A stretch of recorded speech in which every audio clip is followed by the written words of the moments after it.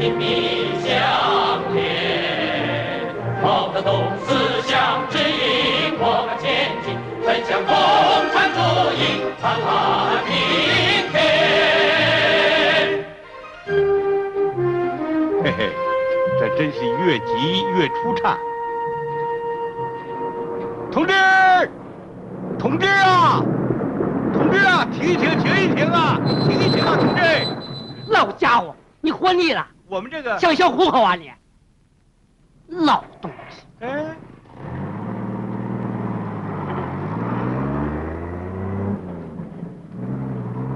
呸！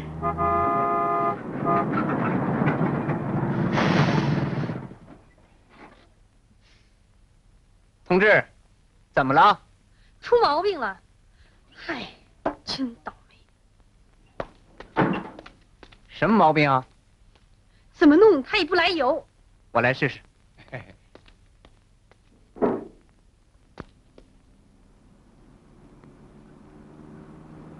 把扳手给我。给，小李子啊，哎好好看着点儿。哎，发动试试吧。哎，好，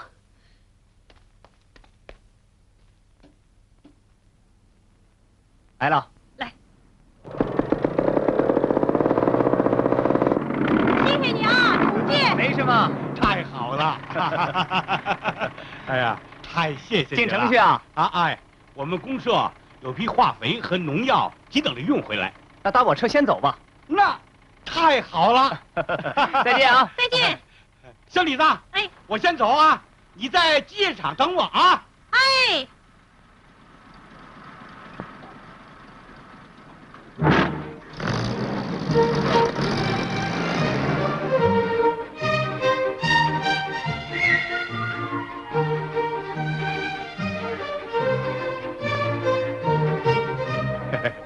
志，怎么称呼啊？我叫常大进，啊，您呢？我是映山红公社的，啊。我叫葛昌海。啊，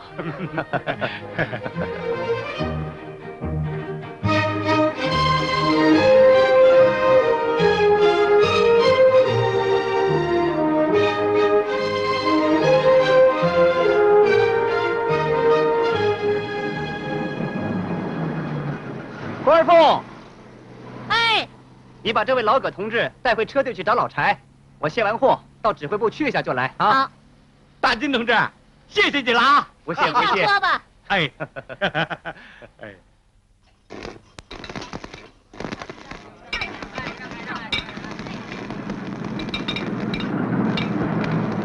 穆副主任，告诉您一个好消息，老柴又给咱们搞到手五百吨运往江城的黄沙，这下子咱们的吨位吨公里就像长了翅膀一样，要一个劲儿的往上飞呀、哈哈哈哈哈！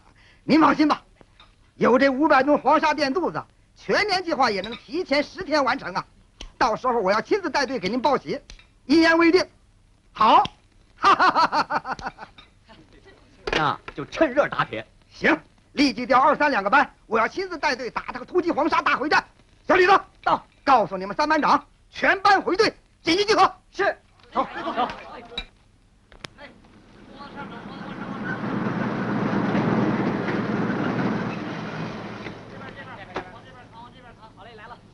哎，小闯，班长，怎么出毛病了？没有，检查检查。大周班长，队长通知咱们全班回队，接受新任务。什么新任务？不清楚，听财务组长说是块大肥肉。肥肉啊！三班集合，归队。校长，走。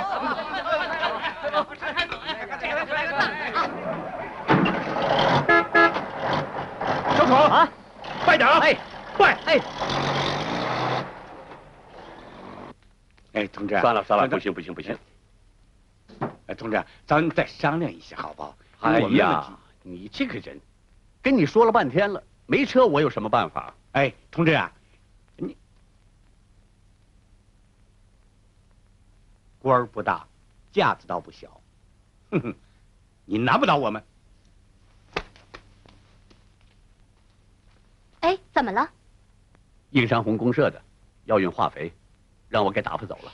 那怎么行啊？我们能不能想些办法？我有什么办法呀？老柴，二凤同志，没车就是没车嘛。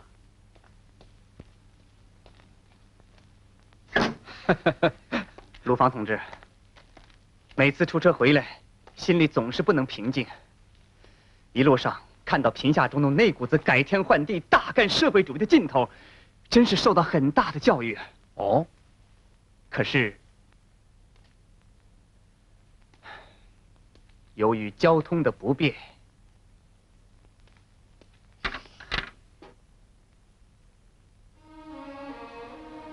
许多进山出山的物资，都还在靠人挑、肩扛、小车推。这样的情况，严重的阻碍着城乡物资的交流，影响了农村生产的发展。贫下中农是多么希望我们把车开到山里去啊！鲁芳同志，我在想，在农业学大寨运动深入发展的新形势下，我们车队怎么才能紧紧的跟上呢？嗯，你的问题提得好啊。各行各业都要支援农业。对于我们搞交通的同志来说，就是要把方向盘转向农村嘛。可是我们有的同志喜欢跑柏油马路，跑干线，对，就是不愿意跋山涉水。这不光是个怕艰苦的问题，原因恐怕还很多。陆芳同志，我想搞些调查研究，把情况全面的摸一摸。嗯，好啊，我支持你，把情况摸清楚，在全地区带个头。你们红旗九队就应该第一个把汽车开到山里去嘛。你看，这都是贫下中农的来信，他们要求我们帮助解决运输上的困难。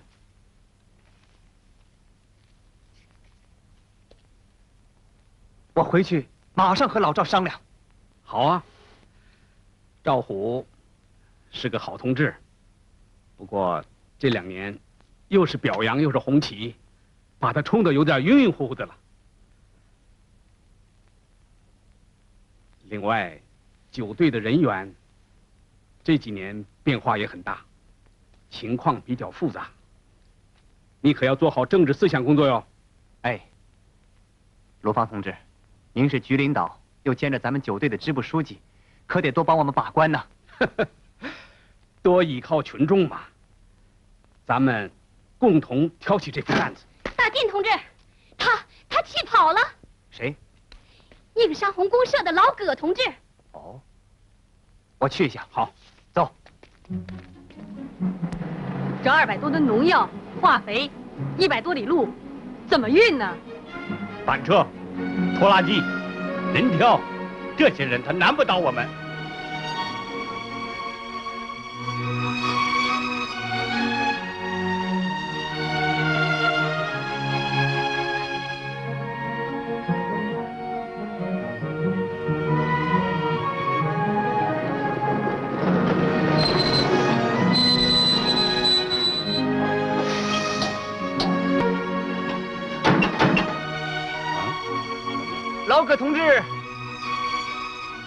老葛同志，真抱歉，农药和化肥一定想办法运回去。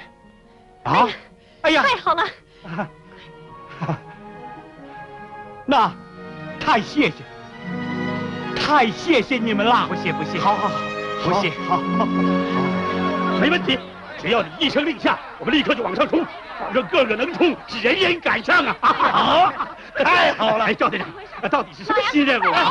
是不是运电厂的煤炭？哎，哎，南山的铁矿吧？是海市看的石料啊！哎，算了算了，哎，赵队长，你就下命令吧。我们三班牙齿硬，就是再硬的骨头，我们保证能把它啃下来。对对对，下命令吧。我说你这个周云鹏啊，怨不得大伙儿都说你是个汽车后轱辘，直愣愣的不会拐个弯呢。哦，那咱们汽车九队就会砍骨头啊！啊！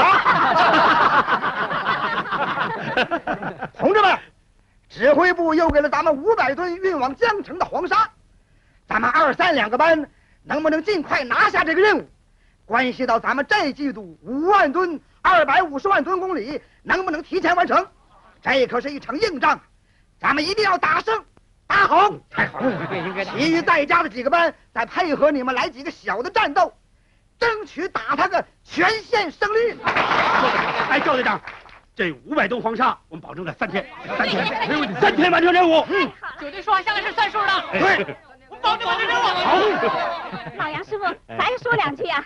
好，代表咱们说几句。哎啊哎，队长，兰英嫂子要发言了。哎，赵嫂子说几句吧啊！别客气了，嫂子。好，我代表修理班，保证小修不过时，二保不过夜，再抽几个修理工跟上拉黄沙的汽车，随坏随修，怎么样？好，咱们英雄汽车九队就得这个样子。这回咱们打的是一场主攻仗，是去消灭五百吨大股敌人。战斗结束，咱们把喜报写好，多准备的几套锣鼓，向县委和公司党委报喜。对，咱们三班。赵队长啊，赵队长，小李，队长，大进同志把任务带回了，请你去呢。是不是过好，大伙儿一块儿去。好，好，跟我来。老程，喝水，老葛同志。哎，哦，你们都来了，哎，大庆啊，提货单已经领回来了。给你介绍一下，这是货主老葛同志。哦，请坐，请坐。哎，老同志，啊，这批黄沙我们在哪儿装车啊？黄沙，嗯！老赵啊，是这么回事，那五百吨黄沙，指挥部把他给让了。什么？让了？你别开玩笑了。同志们，那五百吨黄沙真的让了。江城汽车队有几十台车运货到咱们这儿，没有回程货，咱们能让兄弟车队放空回去，眼瞧着国家遭受损失吗？这么说，真的让了啊？高风格。要是这么一让，风格固然很高，可是咱们总不能空着肚子啊。是啊，咱们这几十台车怎么办？嗯就是，那我们的车现在怎么办呢？同志们，有咱们干的。老葛同志，哎还是你给大伙说说吧。哎，同志们，我是映山红公社的。我们响应毛主席农业学大寨的号召，是一个心眼的，要为国家多生产粮食。可眼下我们几个大队的晚稻突然发现了稻瘟病，我们贫下中农真是看在眼里，急在心上啊！现在县里头给我们拨了二百五十吨化肥和农药，大家得眼巴巴的盼着早点运回去。要是再耽误喽，这几千亩庄稼一季的收成可就全糟蹋了。工人老大哥们，我是向你们求援来了。同志们，情况大家都清楚了。咱们汽车工人应当急贫下中农所急，打他一场突击农药化肥的大会战，为农业学大寨做出一些贡献来。没问题，运往映山红的农药和化肥，我们三班包了。站住！瞎咋呼什么？乱弹琴！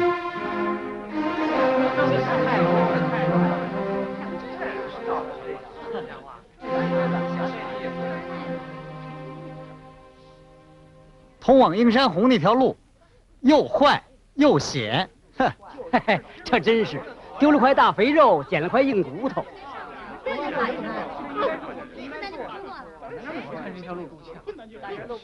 总不能好运的货就接受，不好运的货就打退票啊！对，就是嘛。这条道哎哎哎，有意见就大声说嘛。这全年的任务提前十天完成，这是赵队长代表大家的意见，向公司的领导下的保证啊。这要是放了空炮，那可是大家都丢脸呢。老柴，你的意见呢？啊，我没什么意见，听领导安排吧。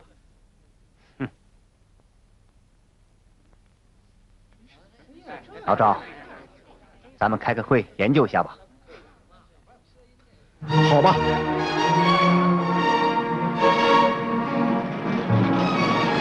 赵队长，队长，那块大肥肉在哪装车？什么大肥肉啊？你啃骨头去吧。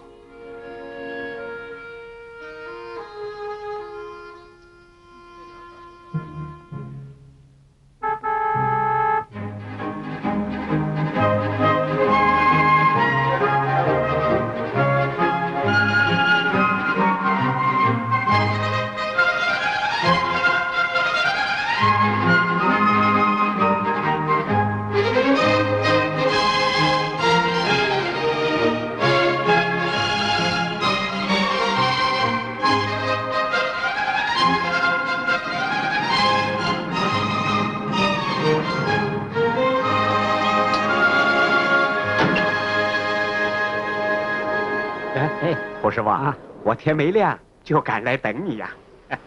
木材今天不运了。哎呀，胡师傅，为了这批货，我今儿个可起个大早啊！啊，我说何老高，你把眼光放远一点，我不会亏待你啊。哟，胡师傅，哎你来了啊！来来，抽根烟。哦，谢谢。哎，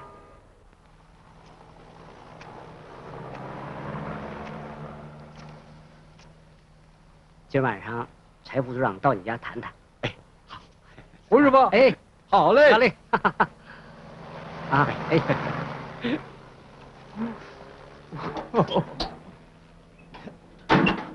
嗯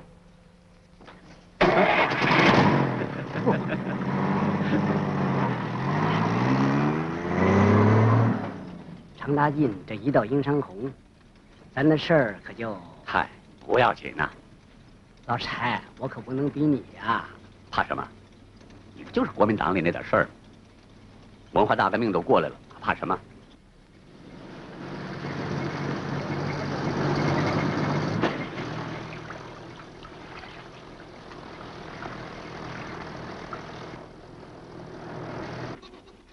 这条鬼路你不会放慢点儿？再放慢，这端瑞灯宫里还要不要？放着好好的公路不走，偏往山沟里头钻。你发什么牢骚？不就这二百五十多吨吗？用完就算了。哎，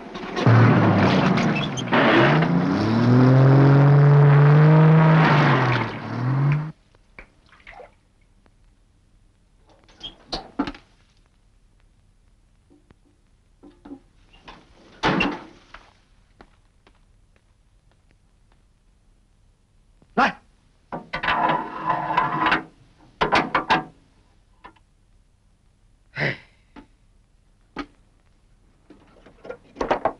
工具。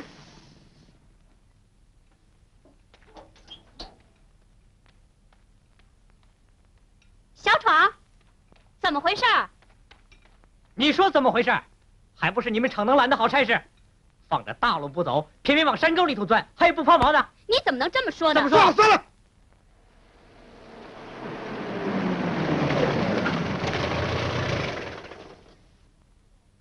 赵队长，穆主任到咱们车队去了，让你马上回去一趟。他正在为任务的事儿着急呢。哦，二凤，告诉常副队长，叫他把货物一送到，马上回车队。好，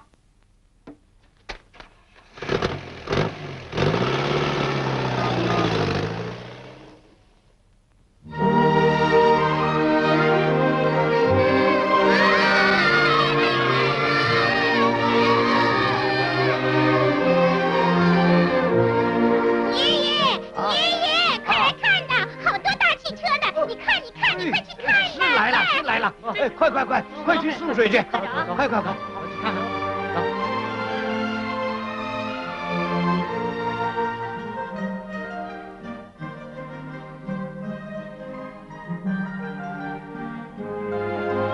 叔叔喝水。嘿，好，谢谢你。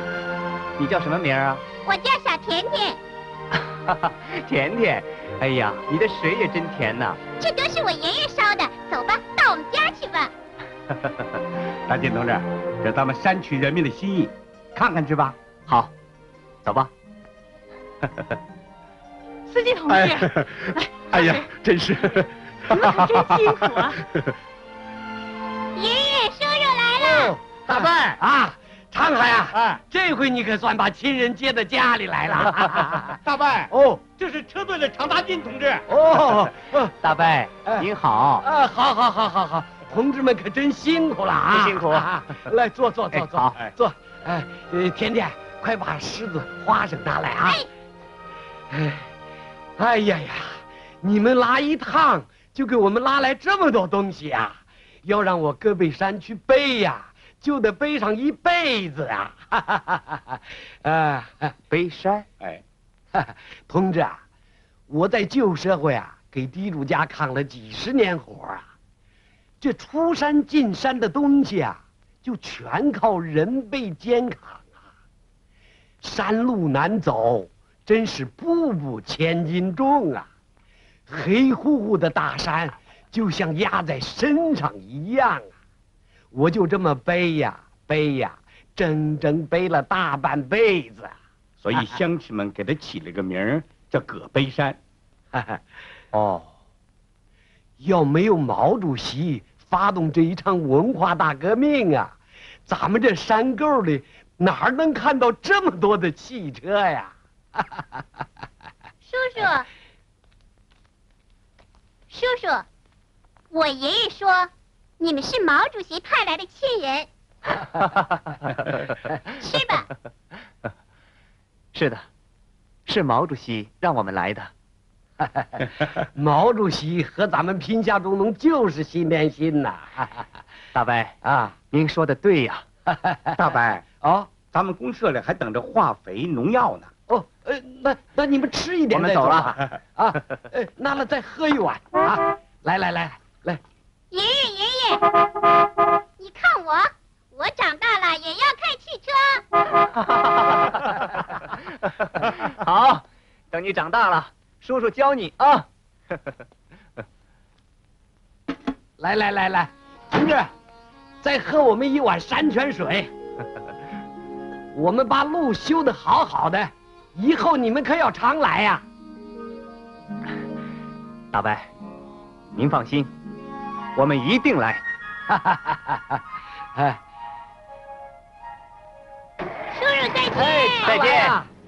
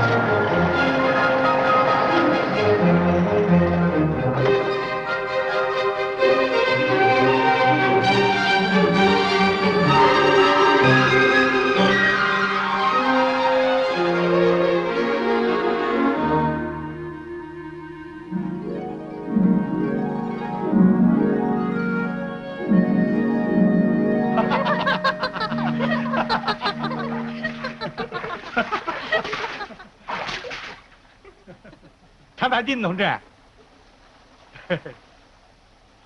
这是我们公社书记李秀竹同志。你们辛苦了，没什么，这是应该做的。走吧，到公社休息休息。走吧。好，你们这儿可真是不错呀。哎，是啊，大金同志，哎，你看这红叶多好看呢！赵队长最喜欢它，兰英嫂子还让我给他带些回去。好，那把我这也给捎上吧。二凤啊，你带队先回去，公社还有一批回城货，我和大周师傅明天给捎走啊。好。哎，走啊！哎，走，你看，哎，好看吗？好看，好看。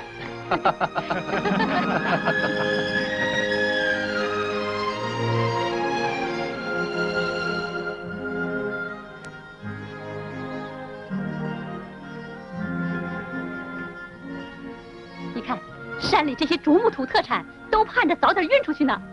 特别是农业学大寨运动以后，出山进山的物资都大幅度增长。好啊 走，行吧？好好好。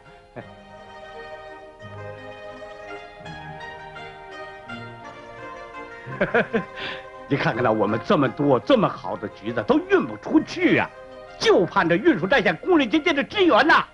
车队快来吧！对。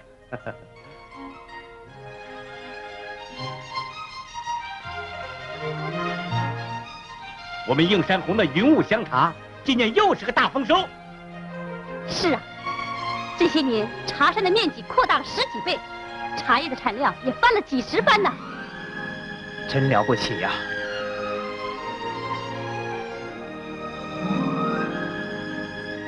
你看，那就是齐云岭。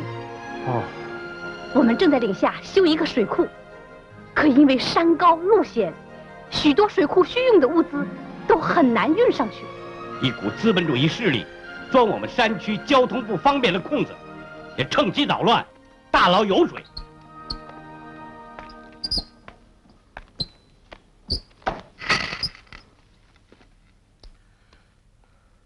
哎，葛老楼，你怎么不走了？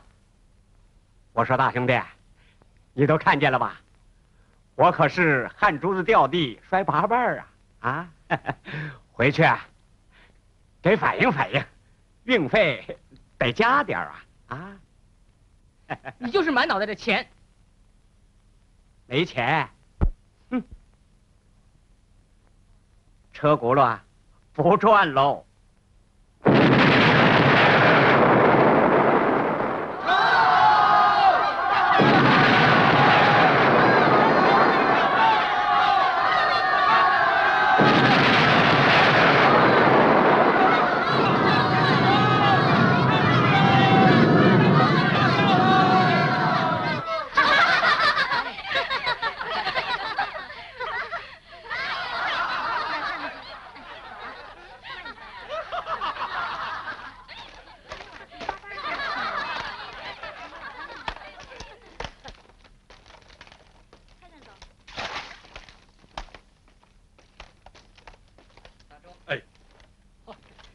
昨夜里头，我做了个好梦，梦见咱这穷山沟里头，也和大城市一个样，上班下班啊，坐上了国产带顶棚的汽车，摆件小农具，集结配件，烧个缝纫机什么的，汽车也一直给咱送到家门口。哎，还有还有还有还有，就连咱那口子。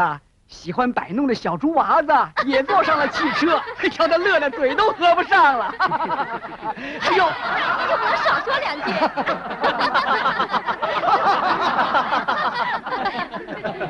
大 金同志，你别笑话呀，咱们山里人吃交通不方便的苦头吃够了，人们看见汽车进山了，高兴的什么话都想往外掏啊。是啊。社员同志们所说的，也正是我们交通运输部门所面临的一个新课题啊！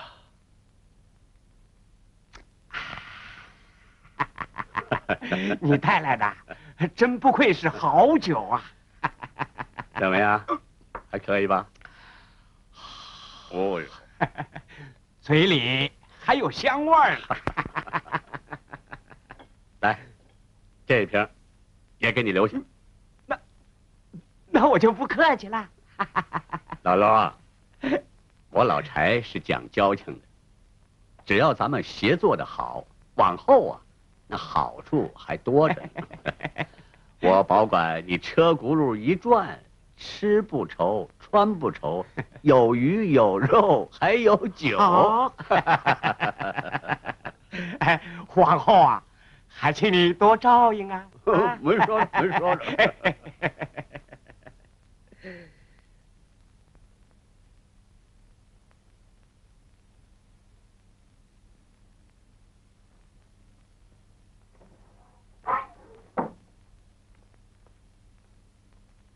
程大进在迎山红住下了，哦，他要干什么？听说是搞什么调查研究来了。嗯，哟，胡师傅啊，哎，你怎么才来呀？啊，我有事儿。老刘，我们要走了。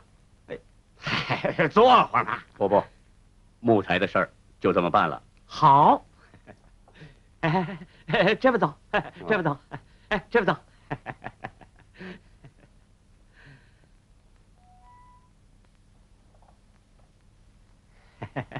请请请，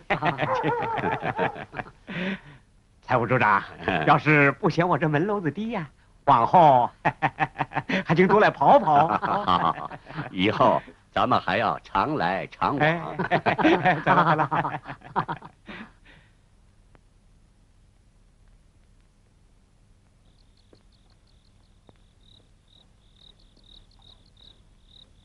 哦，二位师傅，呃，是车队的吧？啊啊！不不不不哎，走走走，到家里喝茶。哦，我们还有事儿走走走啊！哎，改天再见再见。再见。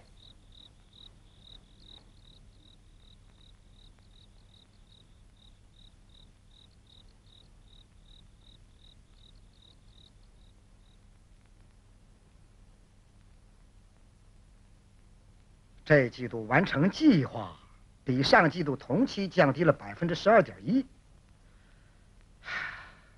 赵队长，咱们只有多拉整装整卸的干线货，不拉那零七八碎的支线货，这样到年底完成任务还是蛮有把握的。我建议领导应该尽快开个会，把它确定下来。常副队长怎么还没回来？听说留在映山红公社搞调查研究呢。都什么时候了，还有这个闲心？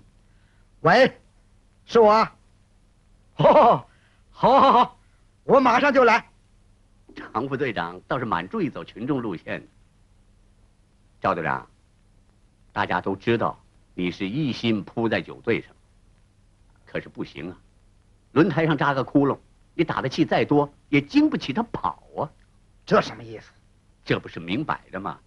咱们在吨位吨公里上使的劲儿再大，也经不起今天丢块大肥肉，明天抢块硬骨头的折腾啊！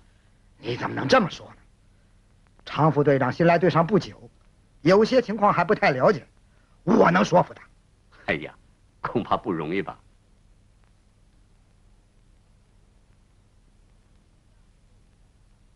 大金同志，哎，给我们留下点意见吧。哎，这次进山收获很大，山里这么多东西，我们一定想办法运出去。哎，我们要组织好回城货。今天你们拉走的这几车山货呀，对我们的帮助啊可大了。乡亲们都说一定把路修好啊！哎再见，再见，再见啊！好，再见，再见。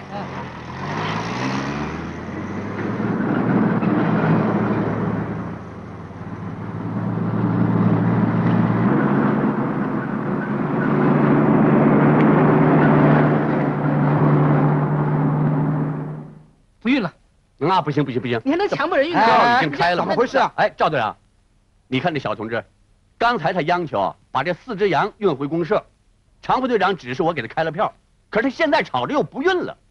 同志啊，不是不运，是不能运呐。怎么？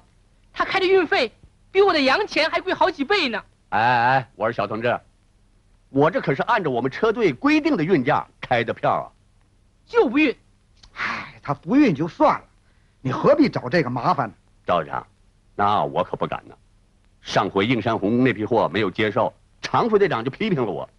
你说这回老赵回来了，刚到，怎么回事？就我这四只羊，他算我一吨重，不运了。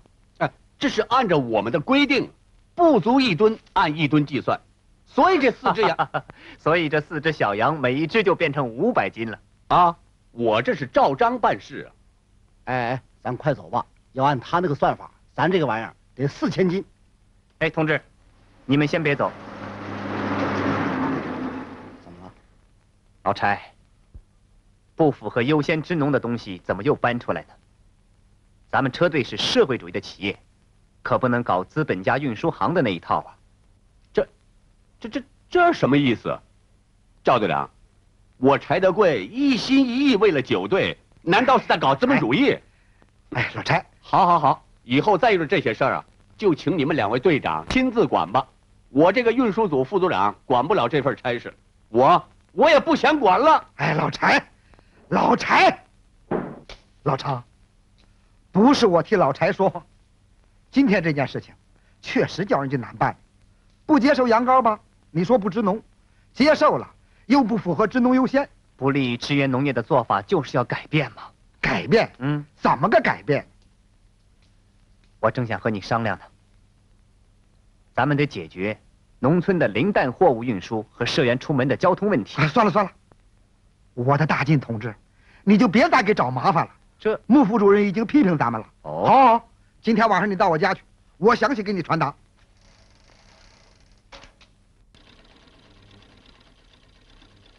哎，我们家赵虎啊，真叫人生气。常大军是那么好同志，可他就是跟人家拧不成一股绳。嗯，柴小闯了汽车抛锚，明明是他平时不注意保养，可老赵偏说是在印山红那条路上给颠坏的。唉，对待他这种人呢、就得要钢榔头砸铁板，硬碰硬的，勤敲打敲的。你呀，你还是个修理工呢。喇叭不响，要调理电路；刹车不灵，要在刹车管和制动器上找毛病啊。嗯，你可倒好，毛病没找着，钢榔头就乱敲一气，这能敲到点子上吗？得跟人家常大进好好学学。哎，老杨师傅，你哦，帮助赵虎，得要多动动脑子，啊！哎，好了，我不等他了，等他回来，你告诉他，就说我心里有话要跟他说啊。好。老杨师傅，嗯，慢走。哎，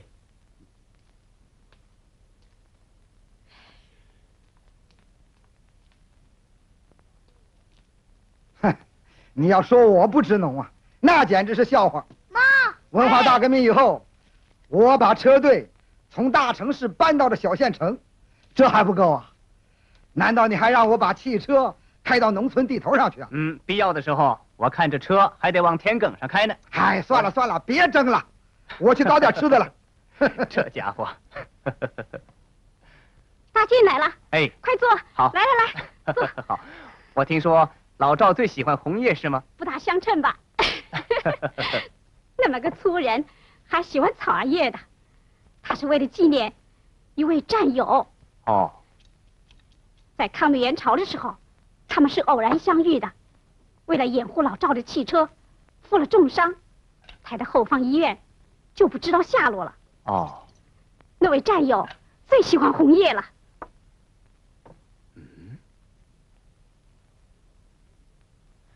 老赵在朝鲜开车，还是个驾驶班长呢。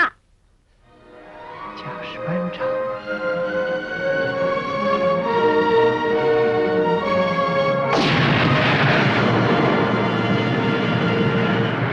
注意，注意，向左，向左！哎，不行，快进来！不要进。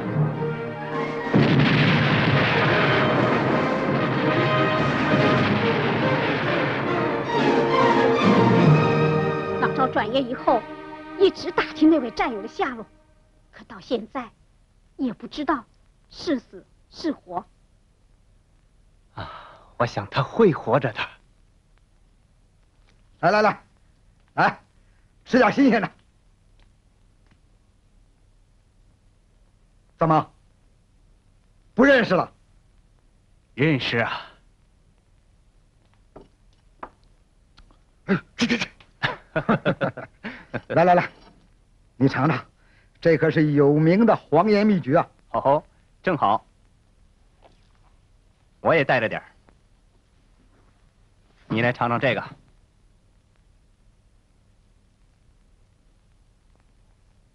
嗯，不错嘛。哎，这是哪儿的名产？哈哈哈哈哈！我知道你准会说这么一句话呀。这到底是哪儿的？嗯，映山红公社的。哦，没想到吧？像这样的橘子，山里有的是，可就是运不出来呀。人们只好舍近求远，千里迢迢把它们从外省运进来。这次进山，很受教育。也很有启发。山里有大批的竹木土特产，急需要往山外运呢。而发展农业生产所需要的机器、农药、化肥以及日用百货，也都迫切的需要往山里运呢。所以这几天，我总琢磨着开上这么一种车：三里一个点，五里一个站，甚至半道上。还可以设一些临时招呼站，不管是零担货物，还是上吨重的柴油机、大水泵，都可以沿途上货卸货。早上，我们送社员进城办事情，晚上再把他们送回到山里去。对，咱们司机呢，也就住在村子里，这样。不仅仅是方便了平价中农，也解决了零担货物按实际重量收费的问题。咱们也就用不着为了四只小羊羔放上一部四吨重的大卡车了。哎呀，我的大晋同志，绕来绕去，你又绕到这个问题上来了。你哪来这么多花点子？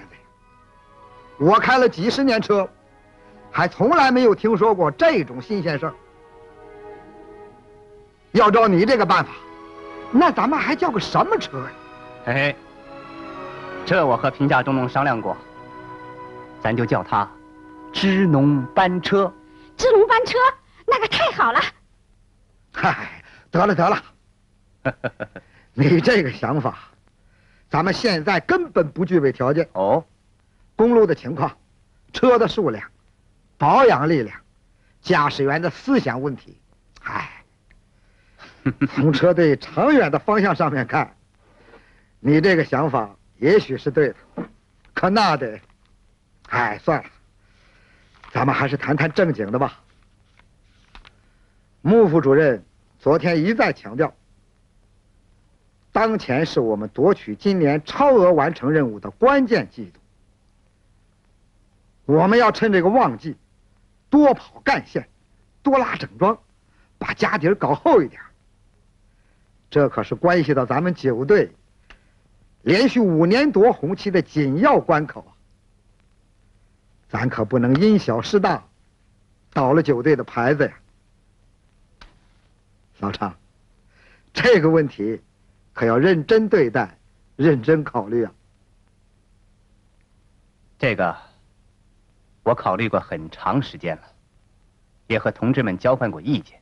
妈妈。“楚”字怎么写？什么“楚”啊？农业为基础的“楚”。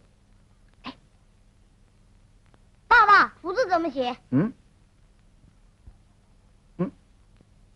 哈哈哈哈哈哈！来来来，嗯嗯。我爸把基础给忘了。哎，去你！怪不得呢，不甘心之农。原来是把国民经济的总方针给忘了。你少说风凉话。那农药和化肥，还不是我们九队运的？老赵啊，我们是做了些工作，可是不能满足于几趟突击任务啊，要从新的起点上开始新的征途。工业学大庆，农业学大寨，这是一场大革命，我们交通部门必须紧紧的跟上，可不能。像个瓶口，卡着咽喉，阻碍这场革命大踏步的前进。这才是值得认真考虑、认真对待的。可我们这季度的任务，哎，不要把他们对立起来嘛。开支农班车正是为了更好的完成任务。我看先开个支委会研究一下，再和同志们讨论讨论。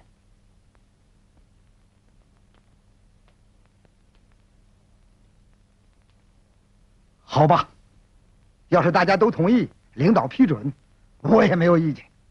弟弟，弟弟，支龙班车开车，小虎，闪开！这小子，大地叔叔，哎，乖孩子。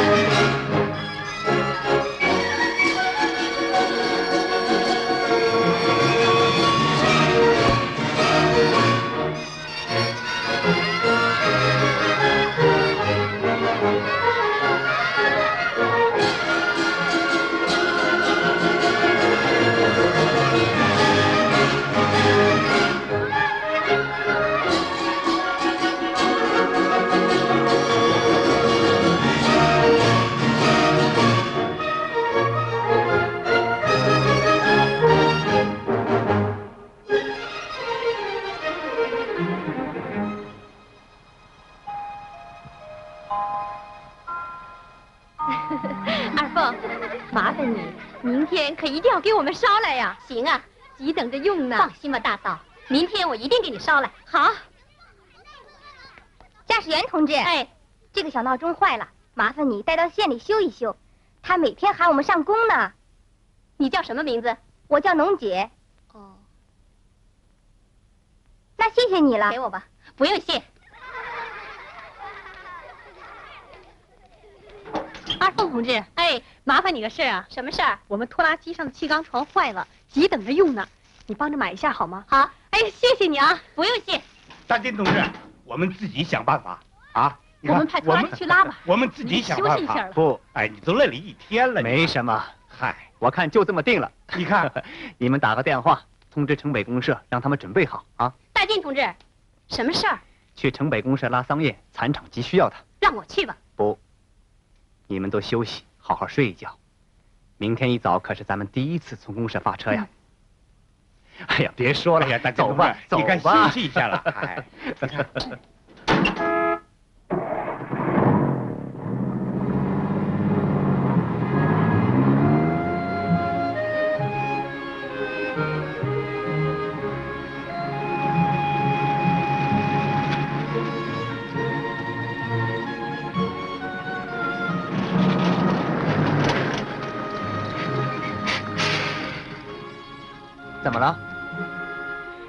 上的是个重病号，要送县医院。给送一送，快上车吧。太谢谢了。再快点。注意，前面有车。哎呀，是常大进的车。开大灯，照花他眼。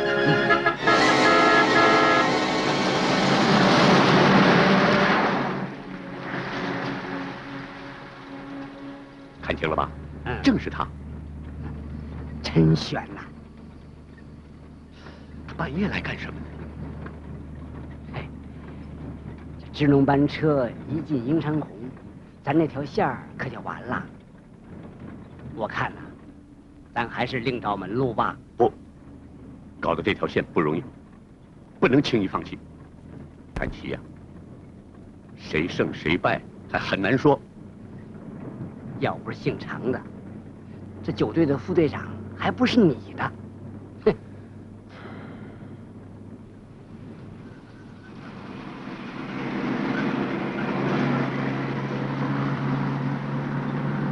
来了，来了，来了！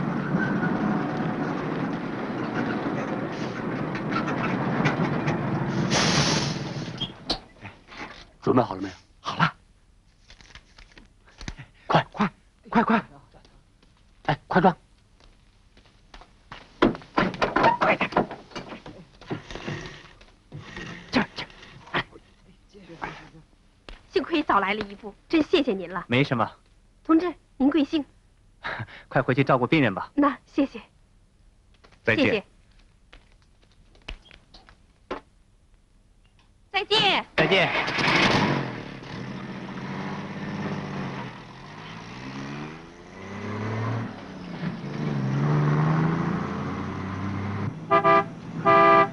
哎，来了，来了，好好。哎，西同志，在这儿，在这儿。哎，哎呀，又等了好久了吧？没事。哎，这位是常大进同志。哦，装车吧，装吧，装车，装车。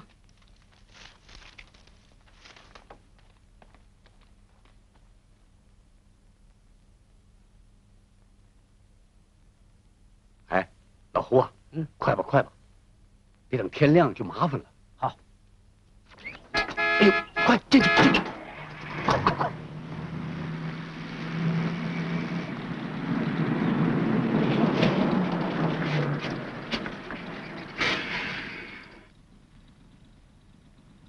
这里住的什么人？一个摆茶摊的老头。老头。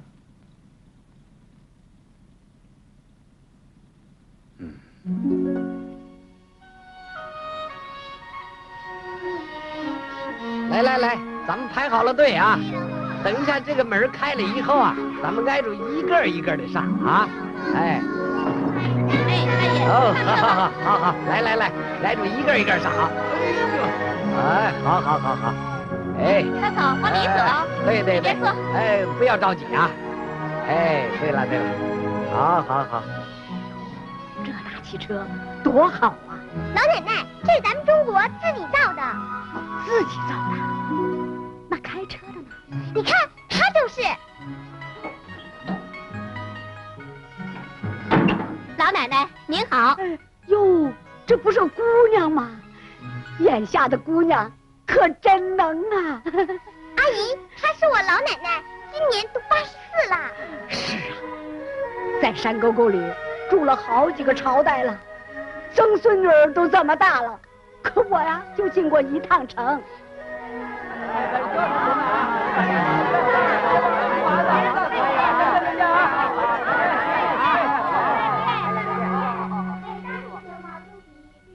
老奶奶，你怎么哭了？不，老奶奶打心里高兴，这都是毛主席给咱派来了幸福车呀。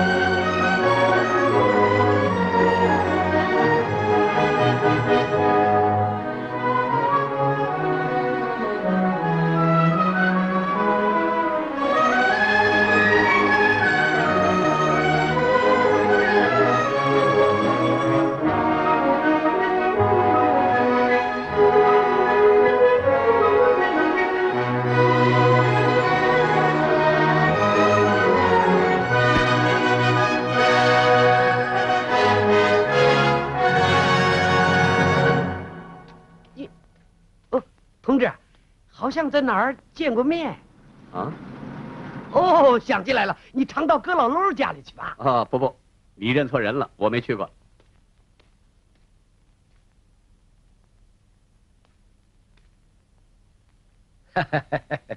嘿，大金同志啊，我们心里要有一万句话呀，这上面才写了几句呀。北山大伯，我们应该为贫下中农做千万件事情。可是现在还刚刚开始呢。您坐。大金同志啊啊，这支农车一进山呀，群众打心眼儿的高兴啊。哎，可有的人就不这样。嗯，一见支农车，眼里就冒火，黑夜连觉都睡不好了。就说我们那个邻居葛老喽吧，啊，一连好几夜都是鸡叫才回家呀。呃，葛老楼是那个拉架子车的吗？对，这家伙可发财了，哈哈哈，可真有门道啊！哈哈，听说和你们车队上有的人还有交情呢。你知道他是谁吗？哦，刚才我在大门口还碰着他嘞。嗯，我常见他到葛老楼家里去，可他一口咬定我认错了人，呃，把我也闹得糊涂了。嗯，他长得什么样？呃，高高的个儿，鹰钩鼻子。嗯，大伯，您没认错人。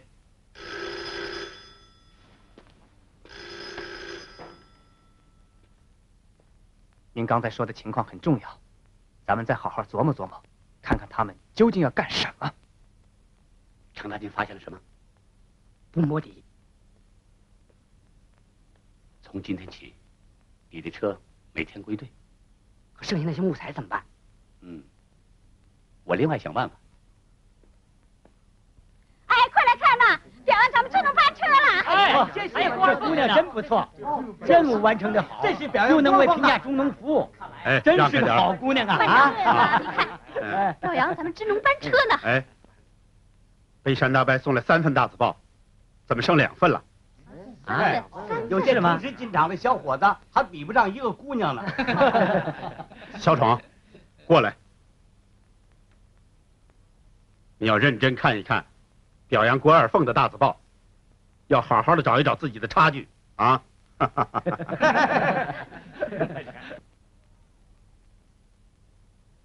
郭二凤同志全心全意为人民服务。看什么呢？队长，你快看呐，表扬咱们支农班车呢。嘿，真没想到，进山打兔子，倒逮了只野山羊，闹了个大外快。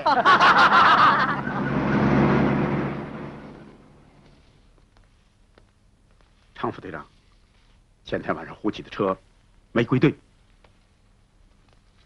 这还不算。胡启见人就放风说，前天晚上我病了，把车停在了自己家的门口。可周围的邻居怎么说？前天晚上他家的门口根本就没有车。大周师傅，嗯，你再找些群众了解一下，看看他们还有一些什么名堂。嗯什么说起？那些表扬信，明摆着的，是组织来的。也好，促进促进嘛。等着瞧吧。是钢是铁，年底红榜上见。哼哎哎哎，哎呀，我的傻孩子，人家郭二凤有人暗地里帮着使劲儿，这个月底呀、已经完成万吨公里了啊！万吨公里。可是你呢，吨位吨公里差远了不说，还得开着支农班车。我看，你的油门加的再大，也是白搭呀。哎小闯，别着急，叔叔给你想办法。我看，我给你另外准备一批货。哎，你自己也得多吃点辛苦啊，站里站外抓紧点，上坡下坡带快点，挤出时间突击他几个晚上。我就不信，到年底吨位吨公里还撵不上他个毛丫头。真的？叔叔是运输组副组长，还能跟你说着玩啊？什么货？映山红木材，这就叫拳头往外打，胳膊还得往里弯呐！啊！嘿，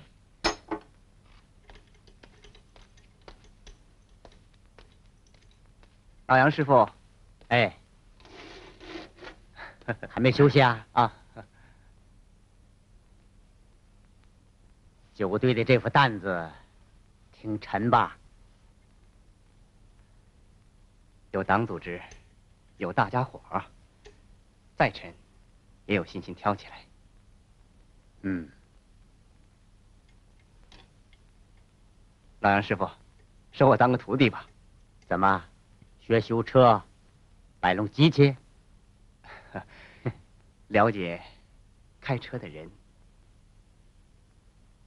嗯，小张，给我拿个瓶垫来。好，咱们队的怪事可不少啊。来，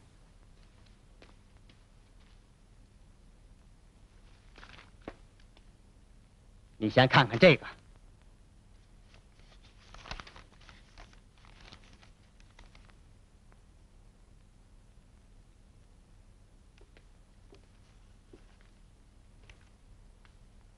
前几天胡启的车送来保修，车上运的是煤炭，可车厢里全是木渣树皮。这是怎么回事儿？还有，前天柴德贵开着胡启的车往山南去了，说是给供销社运百货，才几十公里路，可一直到后半夜才回来。昨天油库老王说，胡启的车又超耗了两百多公升。这些事儿我都找过赵虎，可是他脑子里边少根弦儿。大金呐，你可要好好想想啊！老杨师傅，您提醒的好啊。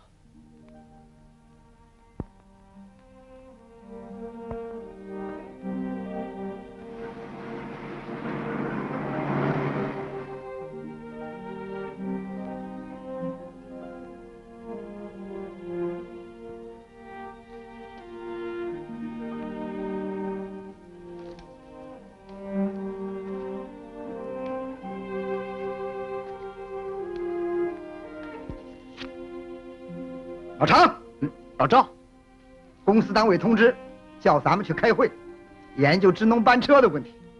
我看就你一个人去吧。啊，你不去？哎，来来来，来来来，给我坐下。干嘛？说说理由呗。我想趁这个机会，组织他几场小会战，嗯，把落下的吨位吨公里抓回来。落下的吨位吨公里是得抓回来，可是怎么抓？靠什么抓？这可得有个主心骨哦。嗯，哎，我最近了解了些情况，想跟你交谈交谈。哎，算了算了，还是等你开会回来，咱们俩再好好交谈交谈。你，我去找老柴，给你准备一份材料。哎，老赵，不用了，老赵，不用了。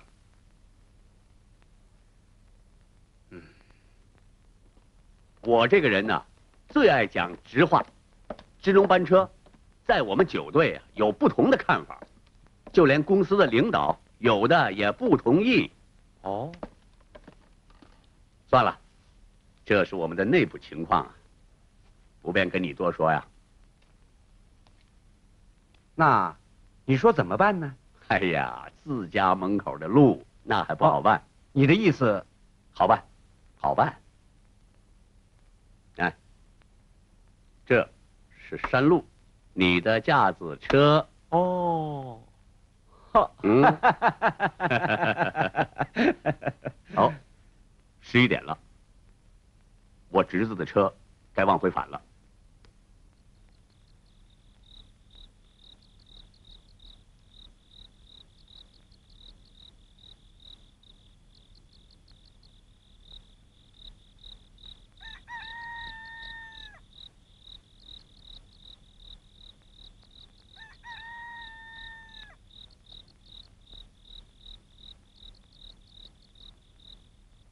十七、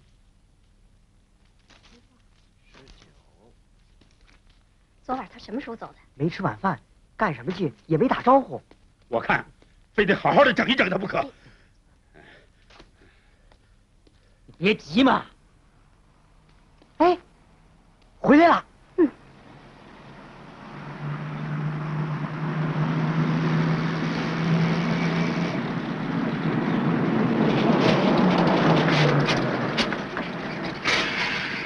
哎，快点，快点啊！好好，来来来，快装，快装啊！啊，快你怎么现在才回来？来来来来来，哎，快快快！上上小王，小王，哎接一下。来来来来，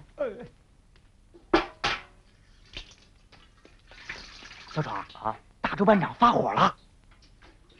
不过你也别害怕，放机灵点就行了。大周班长这么一摞胳膊，这么一叉腰啊，准得发火。你撒腿就跑。哈哈，哎呦，哎呦，大周班长，哎呦，大周班长，快给我让开！大周班长，你往哪儿，你还往哪儿跑？你干嘛老挡着我呢？你放开我！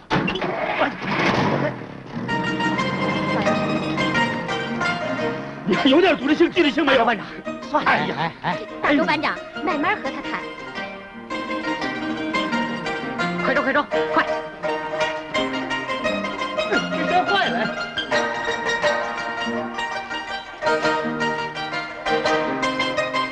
快些，快些！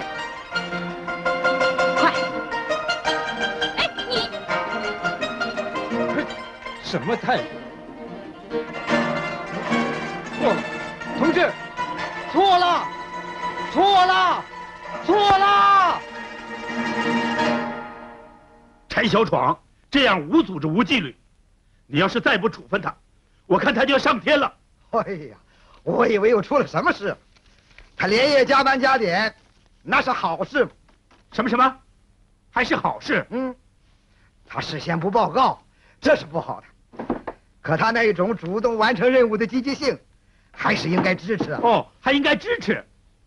我说你这个周云鹏啊，还是个汽车后轱辘，直愣愣的，不会拐弯，是不是？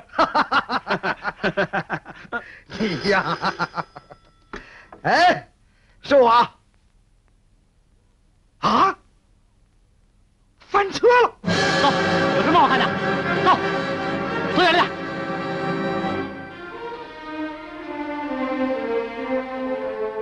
哎，怎么回事。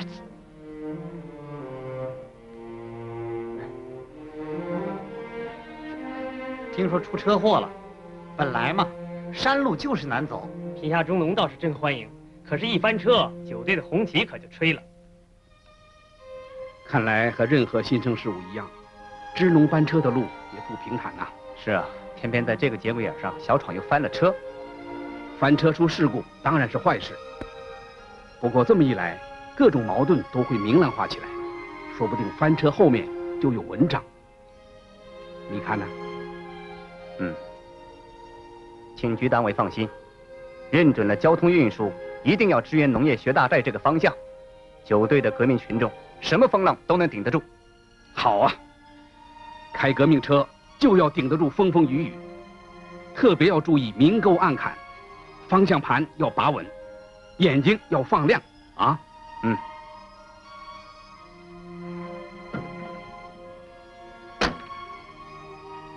我走了。再见。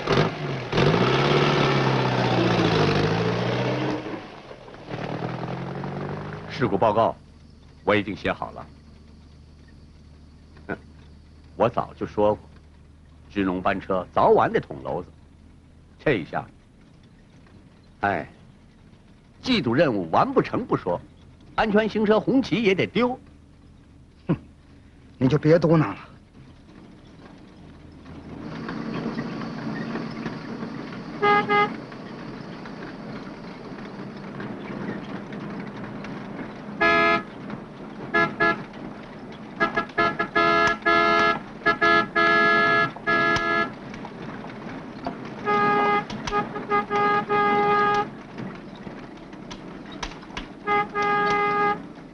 平时开支农班车，也是这个样子。可不，加上沿途上货卸货，比这还慢。哎，你能不能拉快点？快！咱这个车啊，生来是个慢性儿。你想快，跑大公路去吧。哼，我们公社开的路，兴你走，还不许我走啊？你们的大汽车不在城里跑，跑到我们的山里来，想把我们都挤到河里去啊？啊？哼！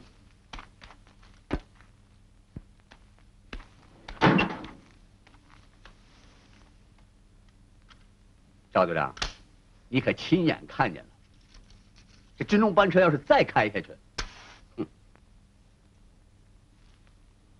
你可是咱们九队的主心骨啊！不当机立断，咱们九队可真要垮呀！支农班车，停！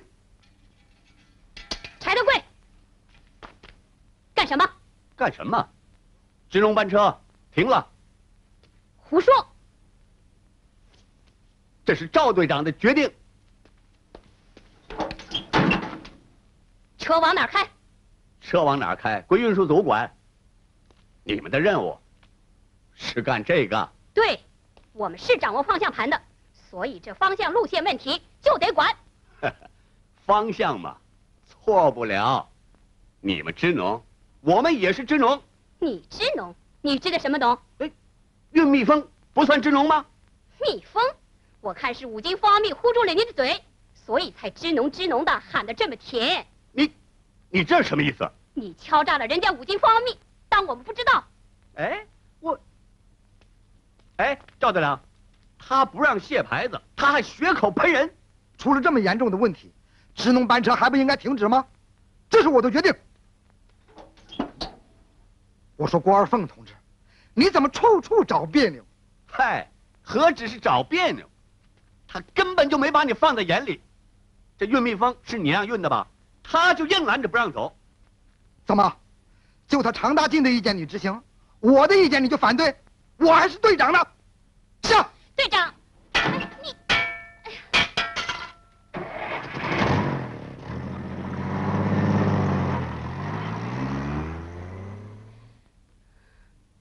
常副队长，那天晚上我实在是太困了，所以，唉，我真不该听我叔叔的话。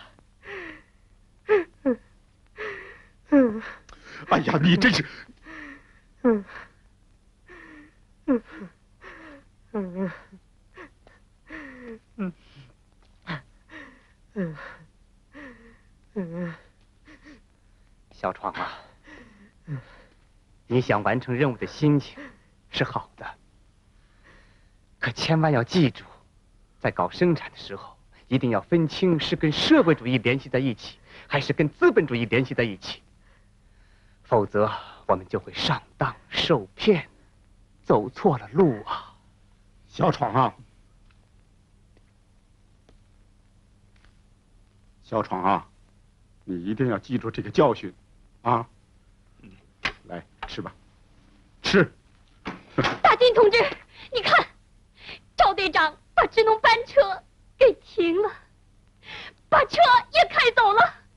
哎，大吉同志，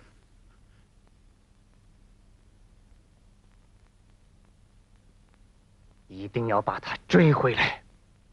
二凤，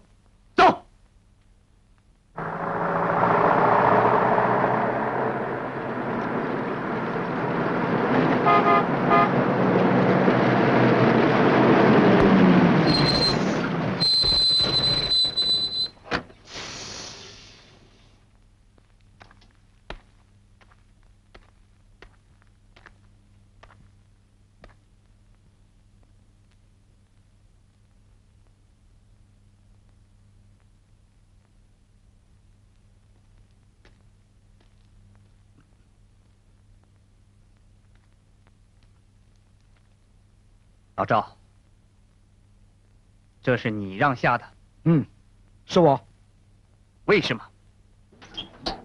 这还用问吗？当初你要开支农班车，我只是同意你们试试看。现在该明白了吧？支农班车拖了我们的后腿，惹了一大堆麻烦，在九队的红旗上面抹了黑。再不停下来，我们大家都得跟着你犯错误。老赵，你你都说了些什么呀？这些话我一直憋在肚子里。再不采取措施，那就是放弃领导。哎呀，真没想到，为了这么点小事儿，搞得这么复杂。这不是小事儿。开支农班车是广大贫下中农的迫切需要，是经过大家讨论，是党支部革委会做出的决议，任何个人无权改变。二凤说的对，老赵，映山红的贫下中农正在等着车呢，让二凤把车开回去，有意见再谈嘛。看你，哎哎，常副队长，这车密封，这可是赵队长亲自安排的呀。不，哼，这是赵虎同志上了某些人的圈套。这这这这是什么意思？我们这也是支农嘛。哼，打着支农的旗号，在拆支农班车的台吧？这拆台？哎呦，赵队长，你看看，这我这这我管不了了。好吧，汽车九队就算是没有我这个队长，老赵，大不了我还去当我的驾驶员。你这是跟谁赌气呢？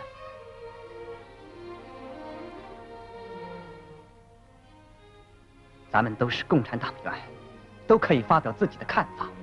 但是你也不能强迫别人都同意你的意见。谁也不会强迫你。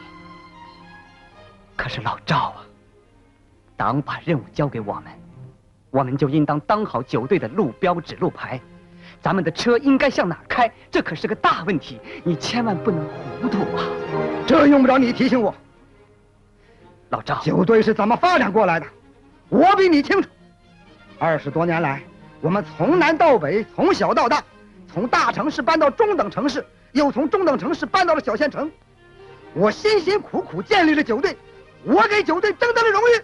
我我说的是支农班车。关于支农班车，咱们俩想不到一块儿去，也说不到一块儿去。你算了算了，有什么问题咱们找领导解决。老赵。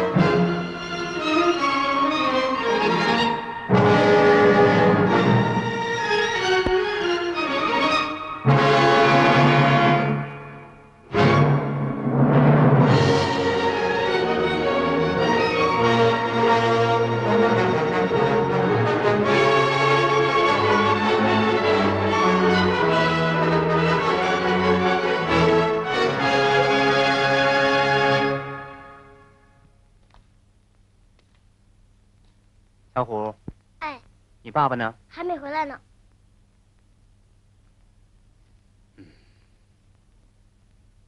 我走了，你好好做功课啊。哎，大季叔叔，再见。你看这都梯行不行？我看可以。哎，大进来了？常副队长来了。哎，你看，好。达进同志，你看，支持我们大字报吗？观点正确的我支持啊。那我这一张呢？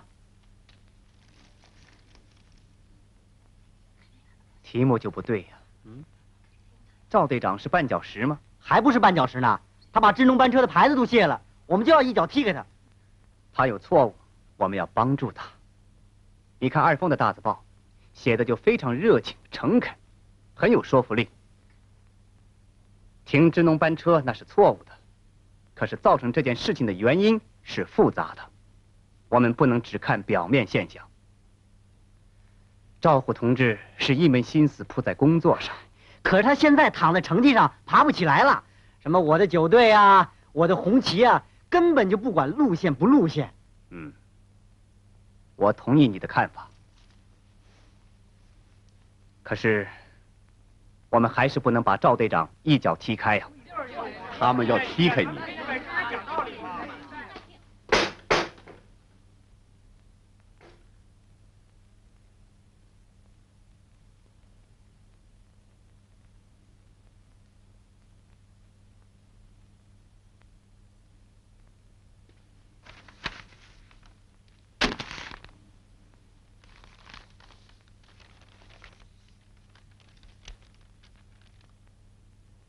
倒成了绊脚石。哼，那就踢开嘛。老赵，对待群众的批评，我们应该正确。算了算了，鲁芳同志马上就来，是非问题一定要搞清楚。大不了我离开汽车九队。怎么了，队长？撂挑子，不想干了？不是不想干，是没法干。我要运黄沙，你们要运化肥；我要运蜜蜂，你们要开班车。那我要车头向下，车头向下，还是挂在嘴边上。支农班车，群众可欢迎了。就是嘛，支农班车群众就是欢迎嘛。是这样的，我跟你没有矛盾，我就是说要支援人民。我是啊，是说的要支援人家贫下中的话，我是不同意你这个提意见的办法。哎，这是朱师傅，你说别吵吵了。九队能有今天，那是四个轱辘，一公里一公里跑出来的。老赵啊，九队的成绩谁也抹杀不了嘛。今天开设支农班车，那是贫下中农和我们的共同心愿，它只会更好的促进生产。那好啊，看看这季度完成的情况吧，老翟。这个季度应该完成全年任务百分之三十，可是现在只完成百分之十五，什么原因？秃子头上的虱子，明摆着的，支农班车拖了我们的后腿。你想想，二百公里的山路要跑三天，可是六百公里的柏油马路最多只要一天半。这笔账你算过吗？我算过，跑大城市柏油马路是快的，跑农村跑山区是比较困难。可是我们应该急评价中农所急，想评价中农所想啊。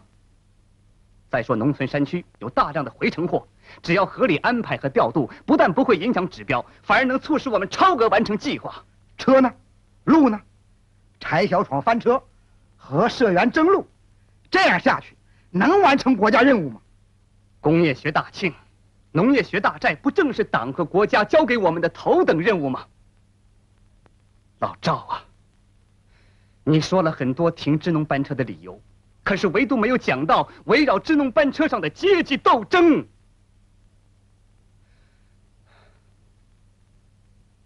这个季度的任务完成的不理想，不是因为支农班车，而是另有文章啊。另有文章。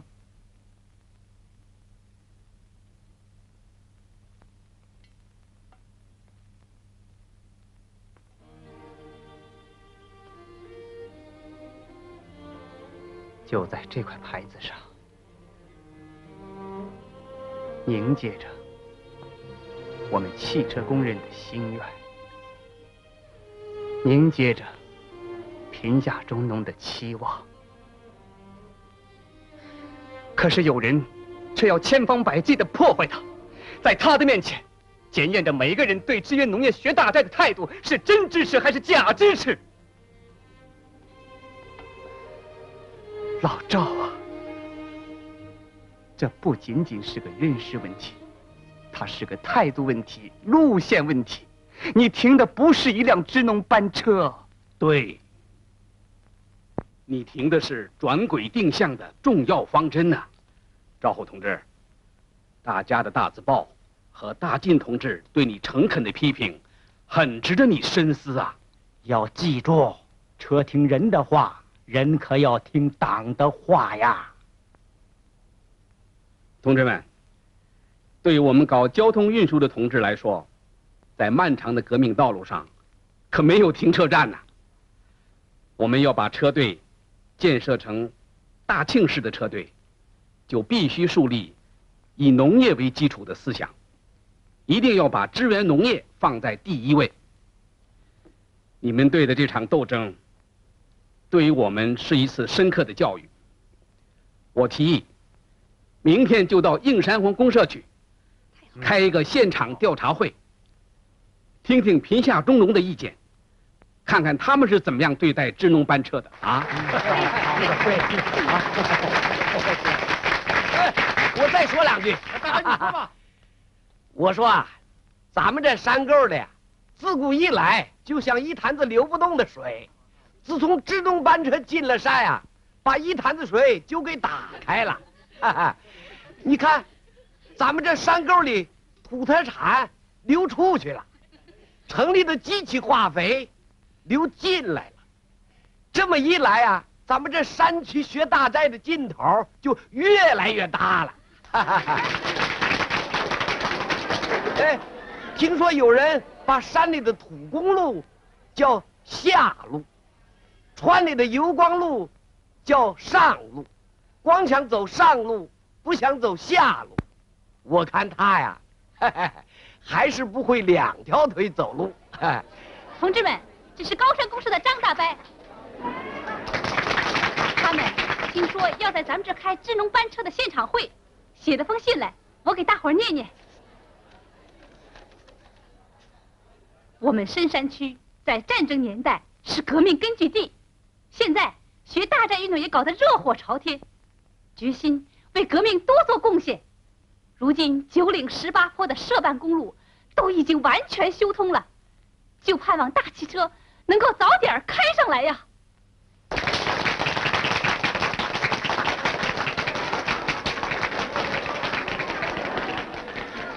同志们，信里还嘱咐我们办交通的同志。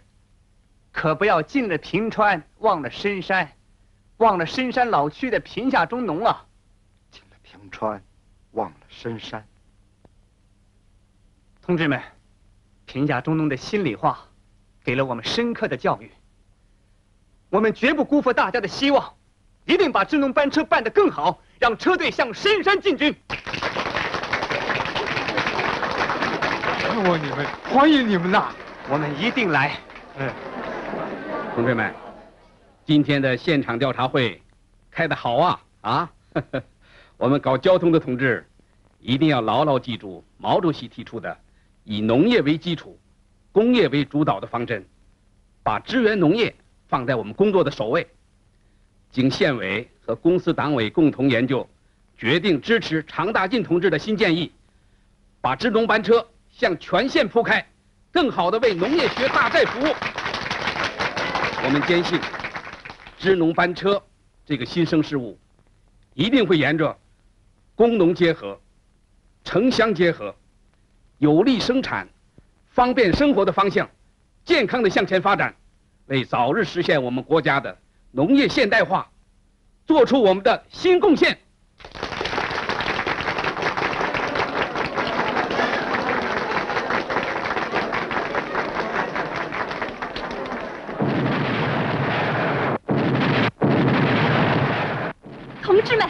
你们听啊，这是我们山区人民欢迎支农班车的炮声啊！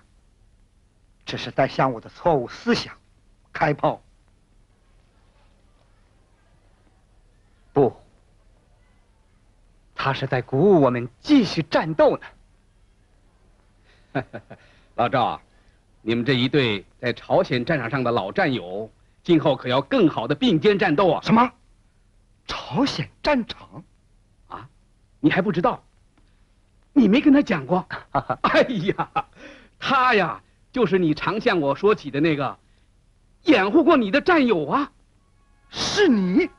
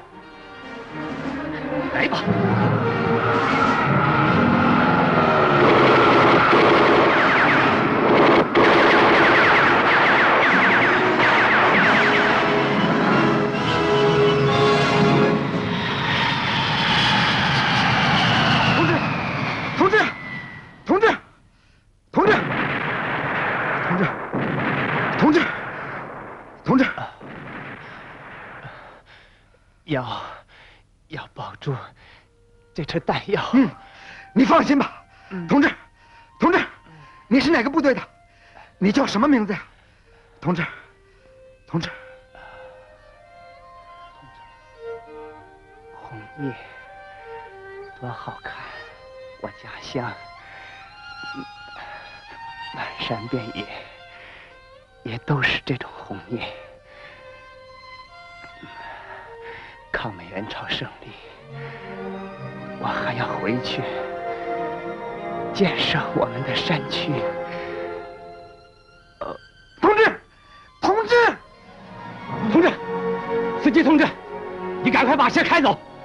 给我们吧。好。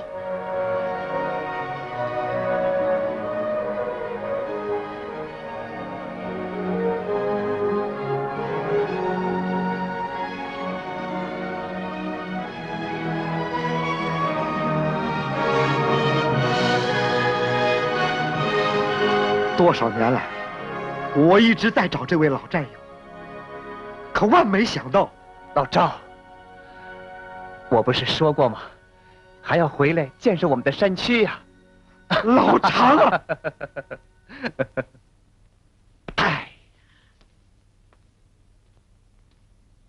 嘿嘿，折腾了这么些天，支龙班车在英山红不但没停下来，反倒在全县还都铺开了。嘿嘿，各项指标，吨位和吨公里，还全都上去了。唉，哎，方老头儿可催那批木材呢，说再要不送去，误了他大事儿，露了馅儿，他可把咱们全抖了出来。这帮家伙真不够朋友。你告诉他，三五天之内，我找人给他运去。谁？陈小闯啊？嗨，算了，这种时候，别说是亲侄儿，就是自己的亲儿子也靠不住。那你说怎么办？我看这样，经过教育，葛老六的态度还老实。他交代揭发木材是他给转运的，他还揭发这个盗窃集团和柴德贵有关系。我们要想办法抓住赃物。现在要特别注意胡启和柴德贵。最近查明，胡启在柴德贵姐夫车行里开过车，和一个特务分子关系很密切，很可能参加过特务组织。哦。秀竹同志秀竹同志秀竹同志啊秀竹同志啊。哎呀我到处找你刚才县委电话通知说半个月内要连降大雨到暴雨爆发特大山洪要我们抓紧做好防洪准备。水库大坝不能出问题，周围十几个公社的生命财产都担在我们肩上，齐云岭水库不能出任何问题呀、我们一定要抢在山洪到来之前，把抗洪物资运上山去。哎，不过那条路，修竹同志，您放心，风再大路再险，咱们也要登上齐云岭。这副重担我们一起来挑吧。好，好，那我们认真检查一下路基，特别是通向齐云岭的那座木桥。哎，嗯，那就分头准备吧。好，好。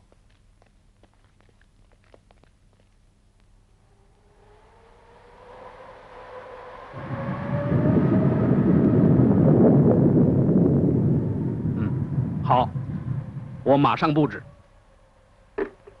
县委决定，交通部门要全力投入这场抗洪斗争。车队已经做好准备，随时可以出发。好，越是在这个时候，越要保持清醒的头脑，可要提高警惕哦。哎，赵队长，柴德贵和胡奇开车进山了。通知车队，马上集合。哎，按计划进行。好，要映山红公社。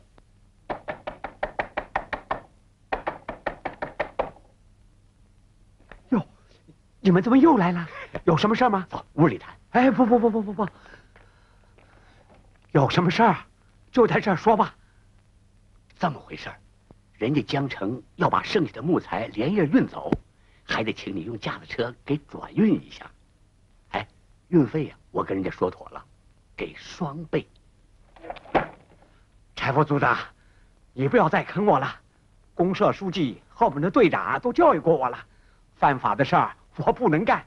我劝你们也赶快洗手。他妈的！老陆，老陆，这小子变卦了，完了，咱们暴露了。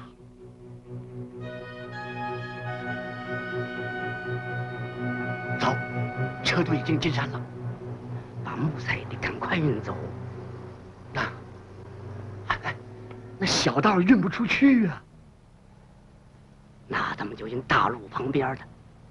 哎呀，那可是水库，防汛用的桩木啊。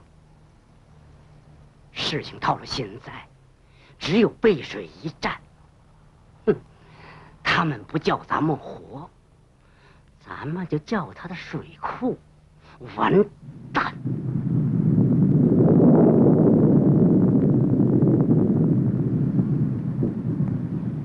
哎呀，那那以后怎么办？以后，你听我的安排。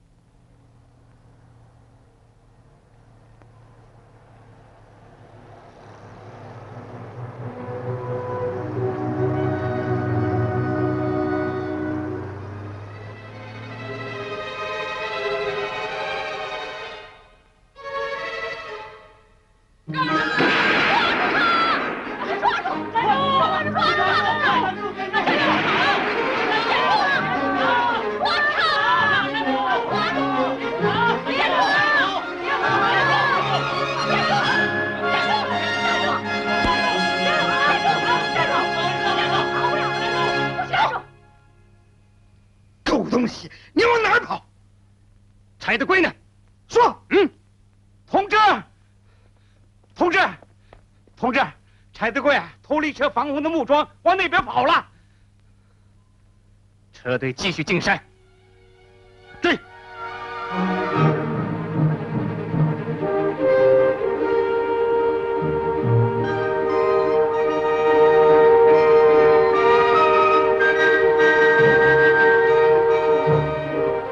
油门加大，再大点。